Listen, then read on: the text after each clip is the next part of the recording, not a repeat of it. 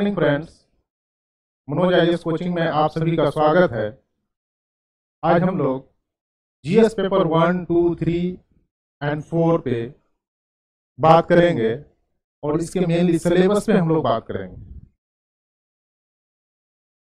Generally कहीं पे भी हम जाते हैं क्लास में भी बच्चे ये पूछते हैं या किसी अगर कॉन्फ्रेंस वगैरह में हम लोग जाते हैं तो बच्चों के साथ जो प्रॉब्लम्स होता है, वो बच्चे यही कहते हैं कि, सर सिविल सर्विस की तैयारी करना चाहते हैं, लेकिन सिविल सर्विस की तैयारी शुरू कैसे करें? तो इसलिए हमें लगा कि उन बच्चों को ये बातें बतानी है या बतानी चाहिए कि आखिर सिविल सर्विस की तैयारी की शुरुआत वो कैसे करें और सिविल सर्विस की तैयारी कैसे करनी चाहिए। तो इसलिए कुछ बातें हैं जो बहुत ही ज़रूरी है, शायद इसलिए वो बच्चे ये पूछते हैं कि सर, सिविल सर्विस की तैयारी कैसे की जाए या पीसीएस की तैयारी कैसे की जाए? तो इसलिए हमें लगा कि ये बातें जो है बतानी चाहिए। और ये भी एक ये भी जो है बहुत ज़रूरी है कि वाकई में क्या क्या पढ़नी चाहिए। तो सबसे पहले हम लोग देखते हैं कि इससे पहले भी हमने आप लोगों को बताया है कि सिविल सर्विस में कौन कौन से सब्जेक्ट होते हैं, नहीं होते हैं, लेकिन आज थोड़ा सा और हम लोग देख लेते हैं। अगर हम लोग बात करते हैं। सिविल सर्विस की तो सिविल सर्विस सिविल सर्विस में एग्ज़ाम जो है तीन पार्ट में होता है। सबसे पहला जो है प्रीलिम्स दूसरा मेंस और तीसरा इंटरव्यू। जैसा कि हमने प्रीलिम्स के बारे में पहले भी बता चुका है हम पहले भी बताए हुए हैं कि प्रीलिम्स में प्री में सिविल सर्विस प्री में दो पेपर होते हैं। सबसे पहला होता है जीएस, दूसरा होता है सी सेट जीएस और सी सेट ये 200 मार्क्स और ये भी जो है 200 मार्क्स लेकिन प्रॉब्लम क्या होता है कि ये जीएस जो पेपर है इसमें कौन कौन सी चीज़ें पढ़नी चाहिए, ये बहुत ज़्यादा कंफ्यूजन है बच्चों को। तो सबसे पहला हम देखते हैं Indian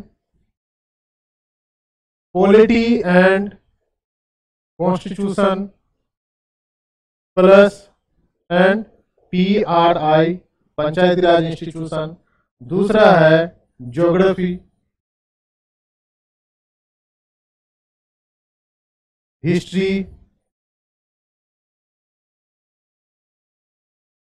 economics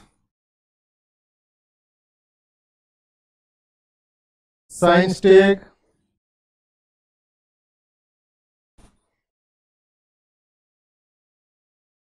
science tech polity geography history economics science tech current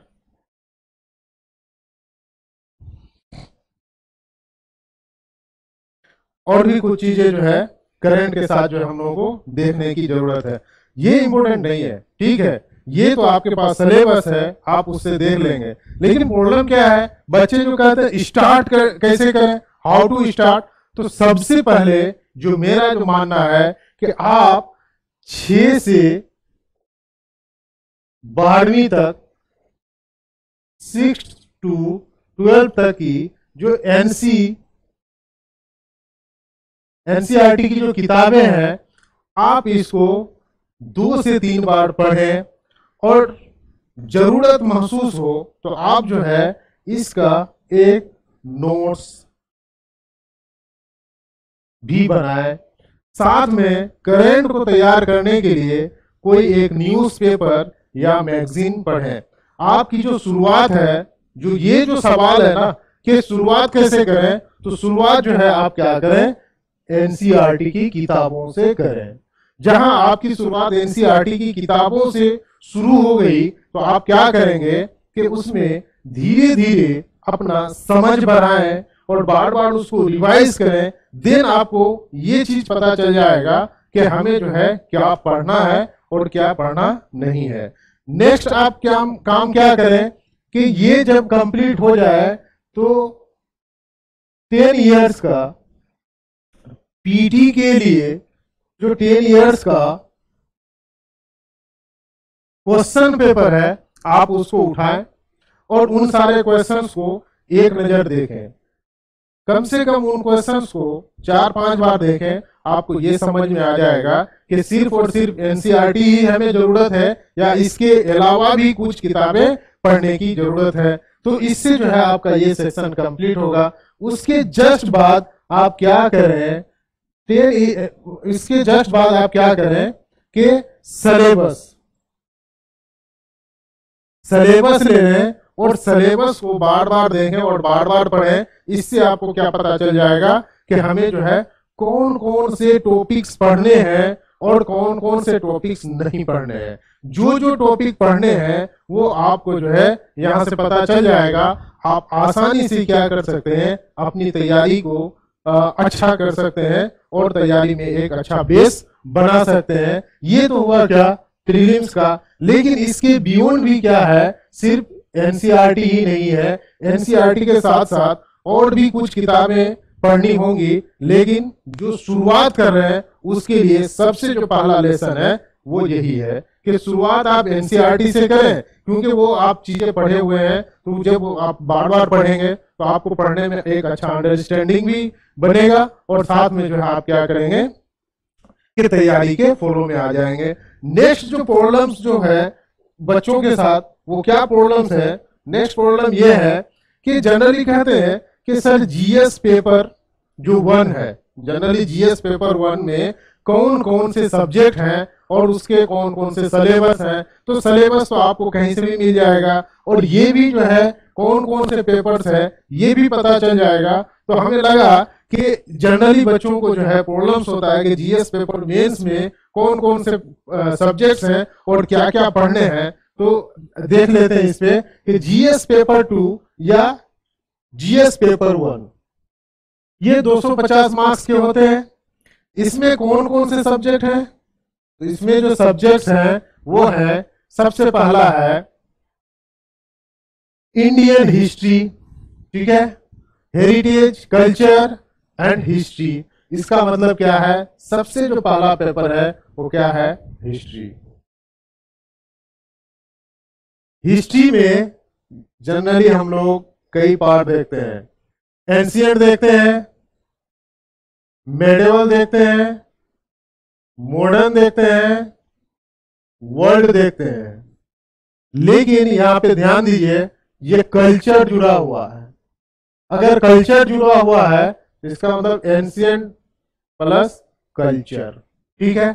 तो हिस्ट्री को आपको ऐसे तैयार करने हैं। यहाँ पे 250 मार्क्स के हैं। तो इसका मतलब क्या है? पहला हिस्ट्री है, दूसरा क्या है? ज्योग्राफी है। तो ज्योग्राफी में भी जो है, आपको पता है वर्ल्ड ज्योग्राफी है फ़िज़िकल ज्योग्राफी है ठीक है? इसका मतलब ज्योग्राफी तो हिस्ट्री से भी सवाल आएँगे ज्योग्राफी ज्योग्राफी से भी सवाल आएँगे। नेक्स्ट क्या है? सोसाइटी इसका मतलब क्या है? सोसाइटी से भी सवाल आएँगे। तो इसका मतलब paper first GS paper first में सेक्शन कितने हैं? तो जीएस पेपर फ़र्स्ट में तीन सेक्शन है। पहला सेक्शन है हिस्ट्री दूसरा सेक्शन है ज्योग्राफी और तीसरा सेक्शन है सोसाइटी। ये जो है, कहीं ना कहीं से सबको क्या करता है, प्रॉब्लम करता है कि कहाँ कहाँ क्या पढ़ना है, कहाँ क्या चीज़ पढ़ना नहीं है। अब जब ये सारी चीज़ें देख लेंगे तो आपको ये चीज़ पता चल जाएगा कि जीएस पेपर फ़र्स्ट में वो क्या देखना है? वो देखना है Indian culture will cover the salient aspects of art forms, literature and architecture. अब ये पता चल गया ना कि हम लोगों को जो है क्या पढ़ना है कि पेपर फ़र्स्ट में जो है हिस्ट्री, ज्योग्राफी और सोसाइटी पढ़नी है। सवाल जो आएँगे आपके मेंस में तो वो ये तीनों सेक्शन से आएँगे। उसके बाद जो है हम लोगों का क्या है? सिलेबस दिया हुआ है। ये पता चला तो इससे रिलेटेड जितनी सारी जो टॉपिक्स है, आप इसको बार बार जब पढ़ेंगे तो वो क्या हो जाएगा? आपको समझ में आ जाएगा। नेक्स्ट पेपर अगर हम लोग देखते हैं तो नेक्स्ट पेपर क्या है?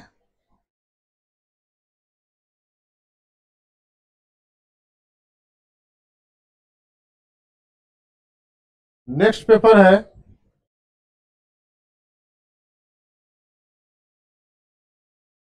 GS paper three.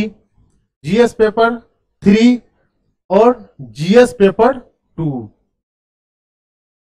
जब जीएस पेपर टू को हम लोग देखते हैं तो सबसे पहला क्या है? गवर्नेंस। दूसरा क्या है? कॉन्स्टिट्यूशन। तीसरा क्या है? पॉलिटी। नेक्स्ट क्या है? Social justice. नेक्स्ट क्या है? इंटरनेशनल रिलेशन इसका मतलब यह है कि वरी होने की हम लोगों को ज़रूरत नहीं है। सबसे पहला जो है, वो क्या है? इंडियन पॉलिटी एंड कॉन्स्टिट्यूशन एक सेक्शन तो ये हो गया। दूसरा जो सेक्शन है, वो क्या है? वो है गवर्नेंस नेक्स्ट जो सेक्शन है, वो क्या है? वो है सोशल जस्टिस।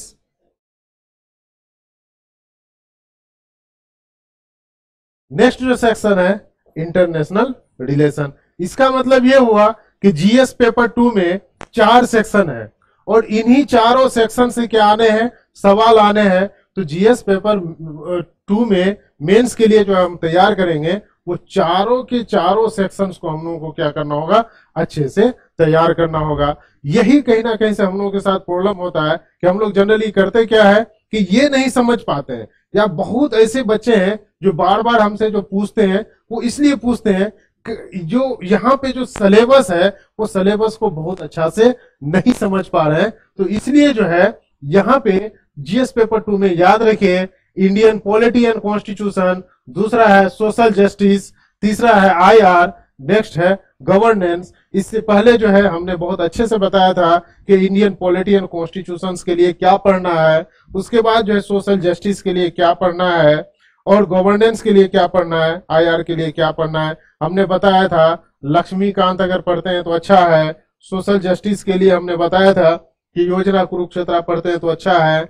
गवर्नेंस के लिए बताया था। सेकेंड एआरसी रिफॉर्म सेकेंड जो एआरसी है, वो पढ़ लीजिए। और इसके लिए जो है क्या है करेंट प्लस जो है, वो कोई एक बेसिक किताब पढ़ते हैं तो हम लोग अच्छा से इसको क्या कर सकते हैं, समझ सकते हैं।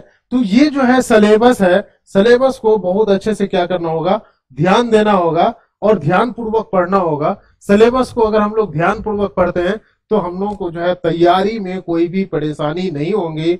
वो जो कंफ्यूजन में है, क्या पढ़ना है, क्या नहीं पढ़ना है तो आप जब सिलेबस को देखते हैं तो आपका जो कंफ्यूजन है वो बहुत आसानी से क्या हो जाएगा? वो दूर हो जाएगा। और बाकी जो है, ये क्या है? सिलेबस है। ठीक है? आप इसको देख लीजिएगा। नेक्स्ट जो है,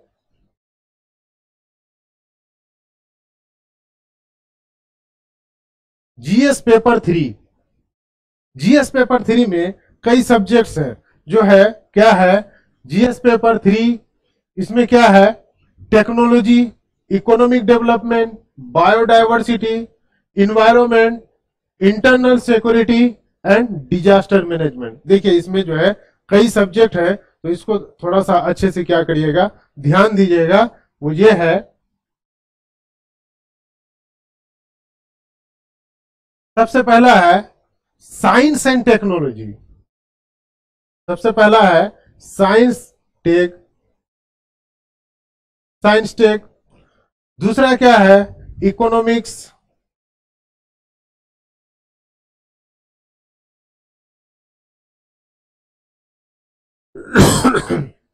तीसरा क्या है? इन्वायरमेंट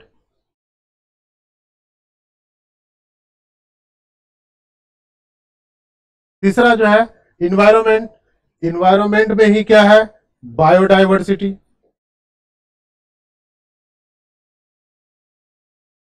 चौथा है internal security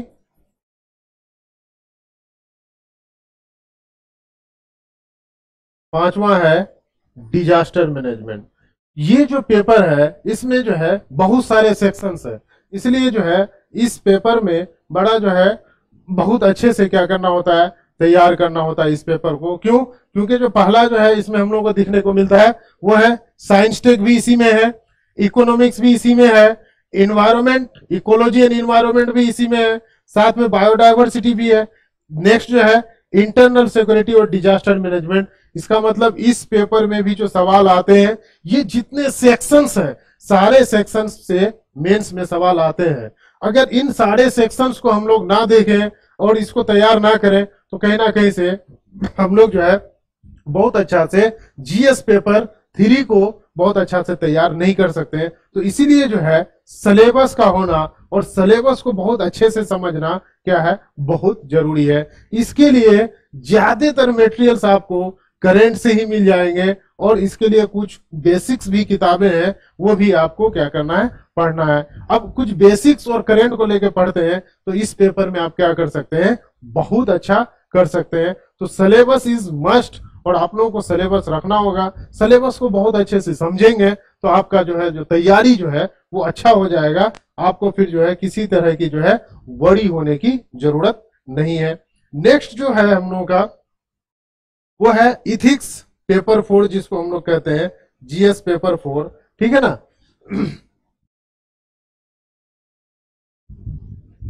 ethics ethics paper four इसमें भी जो है, ये हटा दीजिए। इसमें भी जो है 250 मार्क्स के होते हैं ये। ठीक है? इथिक्स पेपर फोर जनरली हम लोग देखते हैं कि इथिक्स पेपर फोर में दो सेक्शंस है। पहला जो सेक्शंस है, वो थ्योरी है, और दूसरा जो सेक्शंस है, वो है केस स्टडी इसको ध्यान दीजिएगा, बहुत इंपॉर्टेंट है। पहला जो सेक्शंस है थ्योरी और नेक्स्ट सेक्शन जो है, वो केस स्टडी।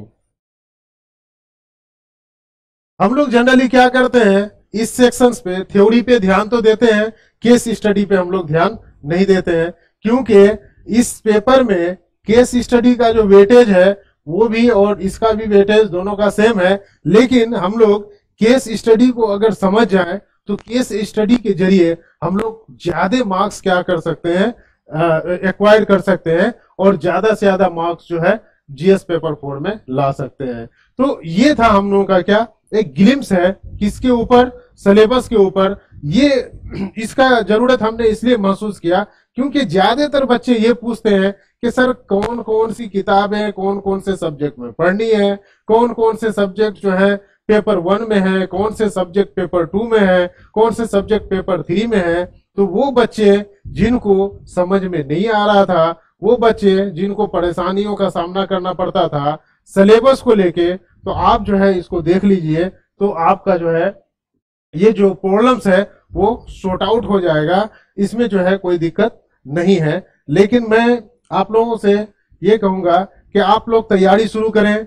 सबसे पहले एनसीईआरटी e पढ़ें सिलेबस लें, दस साल का टेन इयर्स का क्वेश्चन पेपर लें, और उसके बाद जो है जहाँ जहाँ आपको जिस जिस किताब की ज़रूरत पड़ती है, फिर वैसे जो है किताबों को लें और वैसे ही पढ़ें। अगर आपको ज़रूरत महसूस होता है, ज़रूरत महसूस होता है नोट्स बनाने का तो आप जो है नोट्स मेकिंग भी कर सकते हैं। साथ में करेंट जब पढ़ते हैं तो करेंट्स में भी धीरे धीरे नोट्स मेकिंग करते चले, चाहे न्यूज़पेपर से हो या मैगजीन से हो तो आपकी आसानी जो है तैयारी जो है बहुत आसान हो जाएगी और आप इससे जो है बहुत अच्छा मार्क्स भी ला सकते हैं। और बहुत जल्दी से जो है चीज़ों को समझ भी सकते हैं।